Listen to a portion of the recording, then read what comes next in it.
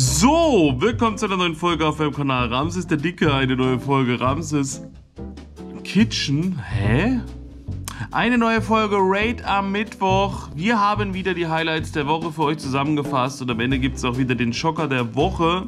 Das ist die erste Raid am Mittwoch Folge nach dem Geburtstagswochenende. Vielleicht sieht man hier meinen Haaransatz. Da ist ein bisschen weiß, da ist ein bisschen braun. Das Gesicht sieht halt richtig komisch aus. Ansonsten Solmecke Frisur ist am Start. Es ist halt wirklich. Deswegen habe ich immer ein Kevin auf. Bruder, verstehst? Ähm, heute Abend ist noch die Raid-Stunde. Die Raid Mania mit Regi Eleki. Die erste Raid Mania mit Regi Eleki. 18 bis 19 Uhr sind also 5er Raids von Regi Eleki an jeder Arena. Normalerweise. Ihr könnt mich einladen, wenn ihr mit mir befreundet seid. Die ersten 5 kann ich annehmen. Kann mit denen dann einen Raid machen. Die können Raid Mania Punkte verdienen.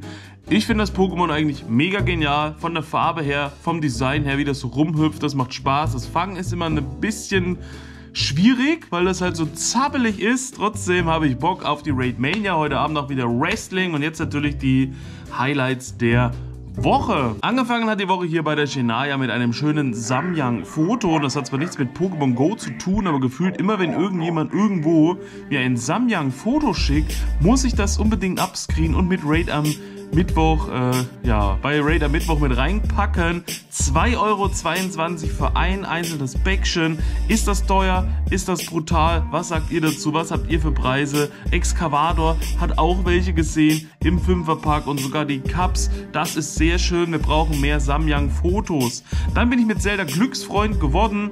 Da haben wir noch nicht getauscht. Da müssen wir noch was machen. Nick hat sich jetzt auch endlich mal Samyang-Nudeln bestellt. Viel Spaß damit. Gleich die Too Spicy am Anfang zu zu Beginn machst du. Ich glaube, wenn du nämlich die normalen nimmst und die sind dir zu scharf, dann wirst du nie wieder Samyang essen. Also nimm direkt Too Spicy und hab gleich die volle Breitseite. Bier Benny bin ich auch Glücksfreund geworden, haben auch schon getauscht. Der hat sogar am selben Tag Geburtstag wie ich, das müsst ihr euch mal vorstellen. Am 16. Juli, am 16.07. Auch passend dazu ein Bild vom Netghost und Ramses B-Day. Alles Gute zum Geburtstag, vor allem Gesundheit dir und deiner Familie. Das war aber am Sonntag. Dandro, auch Glücksfreund geworden, haben auch schon getauscht. Dann der Lenzard in der Raid-Stunde war was Gutes dabei. Ein 100% Lavados. Jetzt hat der Main wieder mehr Raid 100% als der Kleine. Normalerweise räumt der Kleine ab, der Große hat immer Pech. Jetzt hat er hier ein paar Sachen mitgenommen. Da steht Ramses dran und das ist cool. Das ist nämlich das einzigste mit Namen, aber das ist das Lugia. Glückwunsch auf jeden Fall dazu. Brainy Stendal hier mit einem Shiny Zickzacks. Alexander Aringer, Daniel Schilling gefunden. Der sucht den ja immer. Ja, 1, 2, 3 Kid, auch Glücksfreund geworden weiterhin tausche ich natürlich immer Anego. Also ich möchte Anego. Was ihr wollt, ist egal. Aber ich möchte Anego, bis das 100er da ist. T-Tomic, auch Glücksfreund geworden, hinterher. Hat sich auch schon gemeldet. Mal gucken, ob vielleicht das nächste Anego ein T-Nego ist. Als hundertprozentiges, weil es vom Tomek kommt. Borki, hier auch mal ein Meme für Raider Mittwoch. Sie, du riechst so unfassbar gut. Was ist dein Geheimnis? Mein Geheimnis? Bübchen-Shampoo und Duschgel Pokémon. Ich glaube, das habe ich sogar da. Das äh, mit Shiggy drauf und noch ein gelbes mit Pikachu drauf. Aber das Problem ist, ich bin zwar der Bubi, aber ich benutze, benutze ja kein Duschgel. Also wenn ich mal den McDonalds Duschgel-Test mache vom McFlurry Duschgel, dann ja, aber das ist jetzt mittlerweile auch leer. Ich glaube übrigens, das hat jemand gegessen, weil ich habe das nur zweimal benutzt und dann war das auf einmal leer. Also irgendjemand hat zwischendurch das einfach gegessen. Borky ist sogar so glücklich und duftet so gut. Mit dem habe ich gestern ein paar äh, Koalas getauscht und habe dann jetzt meinen Lucky Dex Eintrag vom Koala-Bären bekommen vom Koalelu. Was ist euer bestes Koalelu, was ihr habt? Habt ihr schon ein hundertprozentiges, habt ihr schon ein glückliches Koalelu? Wie findet ihr das Pokémon? Es schläft, es ist eigentlich total süß und ich habe gesehen, das kommt ja auf fast 4000 WP. Falls ich mich nicht verguckt habe, 3900 irgendwas. Pogehander hier, 100er Loturzel mitgenommen, Knilz in Shiny, Bummels Shiny, Pummeluff Shiny, Biditza Shiny, pff, ist gerade auf den Boden geplatscht. Timo, die beiden haben für mich einen viel höheren emotionalen Wert als sämtliche Hundos und Schundos im letzten Monat. Er muss ja auch, denn die meisten Hundos und Schundos, die er so hatte, die kam ja von sonst woher über diverse Apps, so wie das ausgesehen hat. Und die sind ja live vor Ort zusammen mit der Community am Geburtstag und so weiter errated worden. Zwei Regi Iliki vom Geburtstagswochenende in Person mit anderen Spielern. Das ist Pokémon Go, so soll das sein. Und das ist eben ein ganz anderes Feeling auch, als wenn man immer alleine für sich spülen, spülen muss. Spült also immer zusammen, dann wird mehr Geschirr trocken als sauber, meine ich. Ich weiß nicht, ob ich dir den schon mal geschickt habe, aber jetzt ist er auf Level 50. Shiny Cesurio. Timo hat so viel Langeweile, der pusht einfach alles auf 50. Der muss Max Out Monday Videos machen, wenn die Leute sagen, push mal ein Shiny Cesurio. Ich würde wieder sagen, nee, nur 100er. Und wenn ich XL habe und Timo, der pusht halt einfach alles. Ne? Kaiser Kai ist mein erstes legendäres 100er und ist auch lustig. Das erste 100er legendäre bei meiner Schwester war ein Kabutoro. Er hat hier ein, und mit Mystical Black sogar getauscht, ein Shiny 100% Kabukime Glücks-Pokémon bekommen und das im allerersten Glückstausch, den er mit Kabukime überhaupt gemacht hat. Richtig genial. Kabukime fehlt mir als 100er. Kabutoro fehlt mir als 100er. Kaburiki fehlt mir als 100er. Muss ich jetzt auch immer über die Tauschfunktion dann erwirken. Dann hat er hier Zurukex als 100%, Bullpix als 100er erlöst, Luturzel als Shiny mitgenommen. Ich finde das so hässlich. Allem mit dieser shiny Farbe ist es noch hässlicher. Am liebsten hätte ich es gar nicht mit reingenommen, aber trotzdem, wir haben nicht so viele Einsendungen gehabt. Und eigentlich wollte ich mal die 100 besten Bilder. Wir haben nur, glaube ich, dann 80 gehabt nach dem Aussortieren. Vielleicht was für Mittwoch. Schönen Abend. Erlöstes 100er Griffel. Rihorn 100%. Einmal klein und jetzt gleich in der ausgewachsenen Version, wenn sie beide entwickelt sind, sind ja beides Sino-Entwicklungen, die den Sino-Stein benötigen. Das Ganze hier von Brutalinho. Dann aber Tiso. Die hat den Shiggy Showcase mitgemacht, hat dreimal Platz 1 geholt und sogar den Relaxo Showcase und zweimal Platz 1 geholt. Das ist sehr cool. Ich habe weder den Shiggy Showcase noch den Relaxo Showcase. Hier habe ich also den Shiggy Showcase habe ich nicht gehabt, weil ich einer von denen war, die das nicht sehen konnten.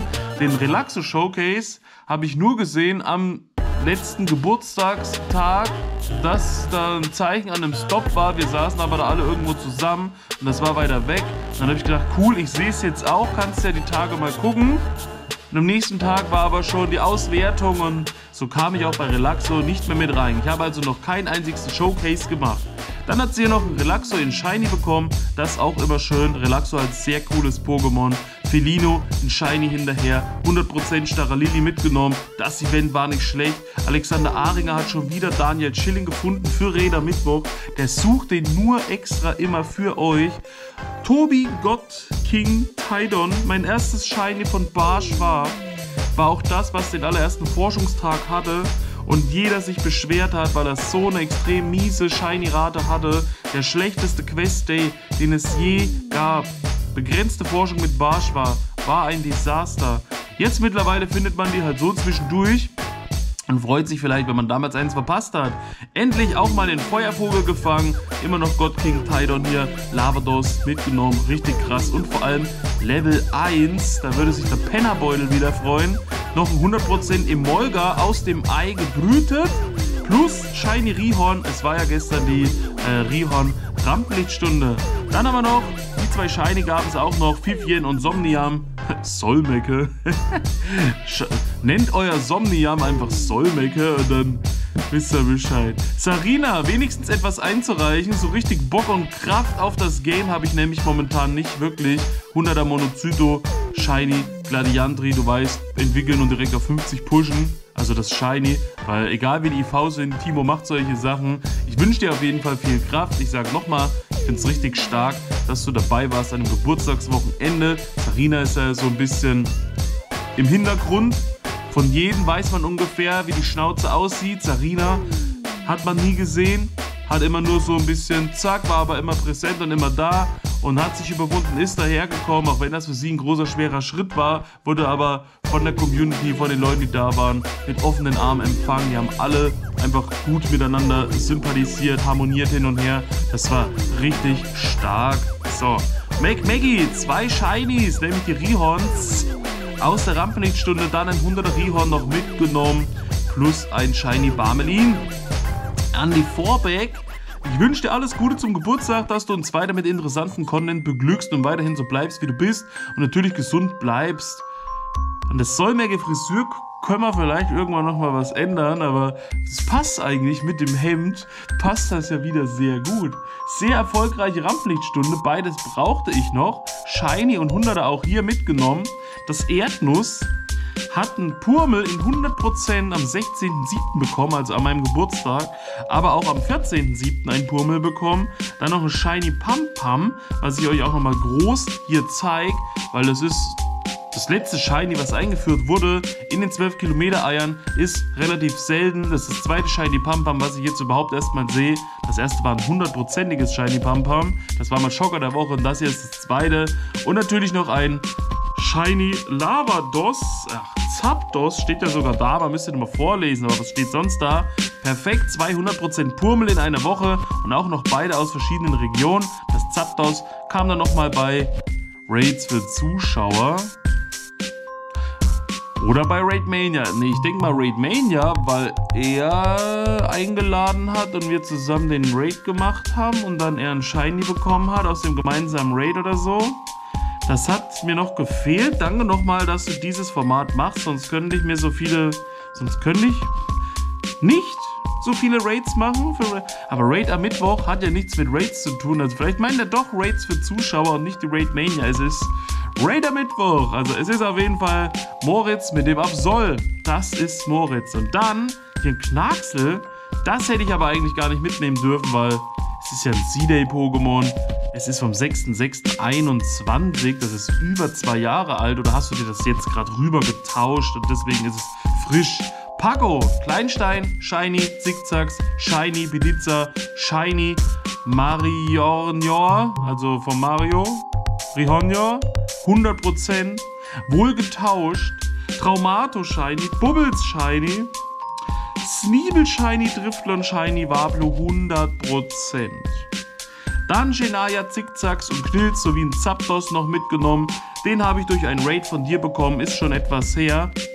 Und trotzdem zählt, gebrütet, 100%. Garnoville kann man ja auch momentan nur aus Eiern bekommen. Baby, es ist, naja, es ist, eigentlich ist es kein Baby, aber es sieht aus wie ein Baby. Es ist halt ein Garnoville, das ist sehr cool. Dann noch ein Ladybar aus der Feldforschung in 100% mitgenommen. Margot FedEx mit dem eigentlichen Schocker der Woche. Macht er hier wirklich einen Krypto Arctos Duo Raid?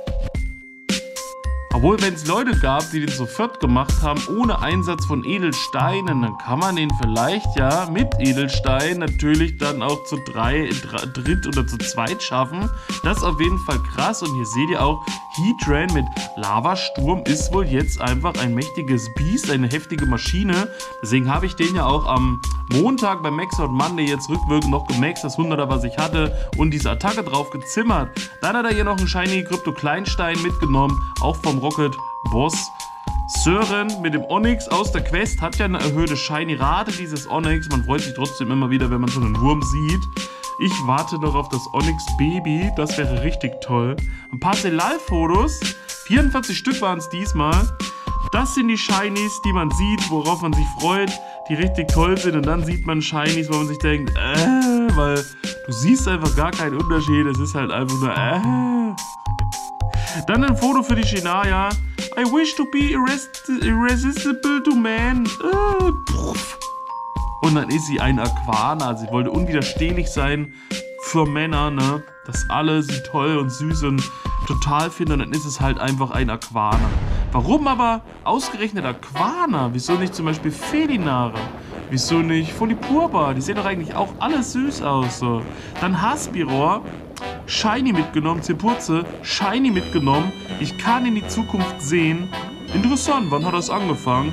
Nächsten Donnerstag. Denkt mal drüber nach. Nicht jetzt, Pfeffi, ich muss arbeiten. Man kennt es, am Geburtstag gab es ja auch Pfeffi. Hannes hatte eine Flasche Pfeffi mitgebracht. Die haben wir aber vor dem Geburtstag schon getrunken. Äh, Sarina hat eine Flasche Pfeffi mitgebracht. Ich habe den an dem Geburtstag getrunken.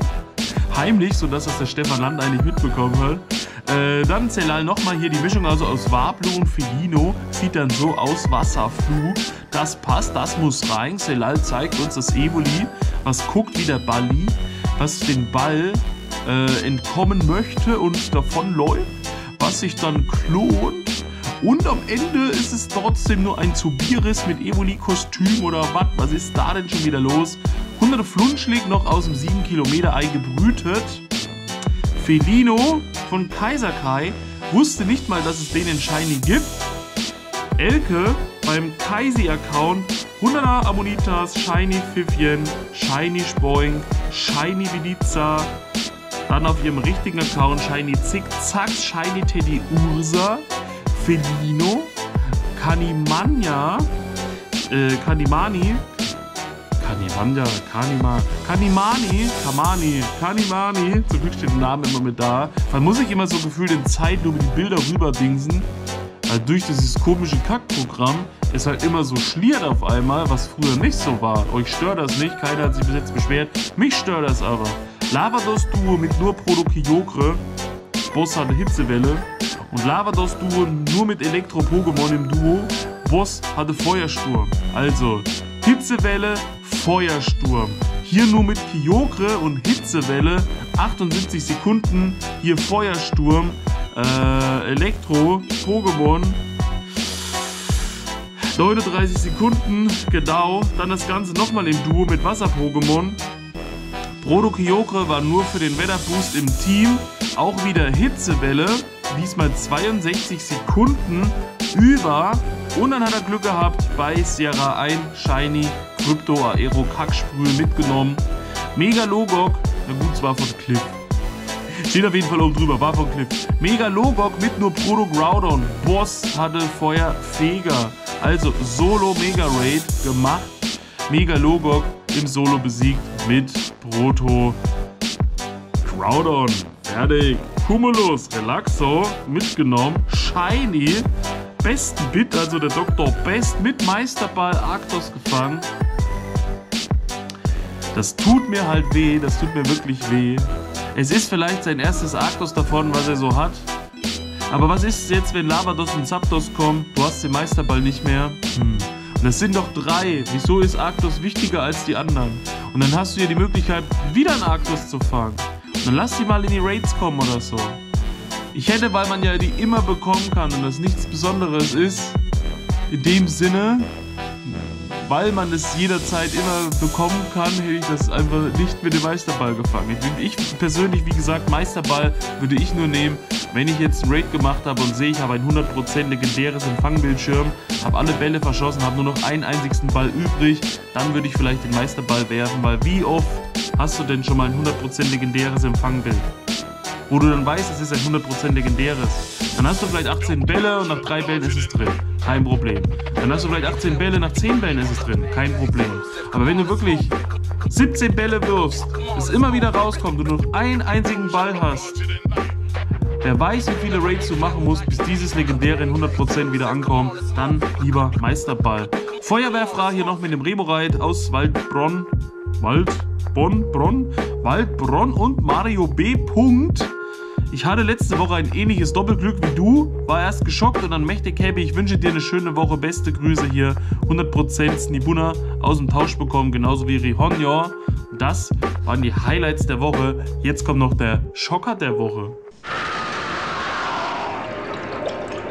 Der Schocker der Woche kommt diesmal von, haltet euch fest, Paco, endlich nach 1586 Rockets mein erstes Krypto-Hundo. Flamely, Logok, ist okay, ist krass.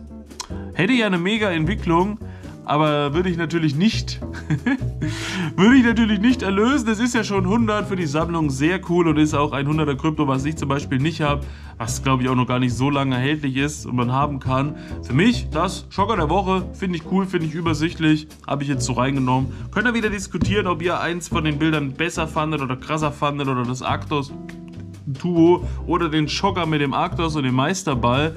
Ansonsten sehen wir uns heute Abend wieder in der Raid Mania. Ich muss noch so viel schneiden und machen vor dem Geburtstagswochenende, vor den ganzen Tastings mit Hannes. Ich weiß noch gar nicht, wie ich die Woche plane, ob ich vielleicht die Pokémon-Videos ein bisschen hinten anstelle und mich erstmal auf diese ganzen Geburtstagssachen und Tastings und Dings konzentriere, dass das irgendwie schnellstmöglich abgearbeitet ist. Ansonsten bis heute Abend Raid Mania und zum nächsten Mal. Peace out, Vorhaut, euer Ramses.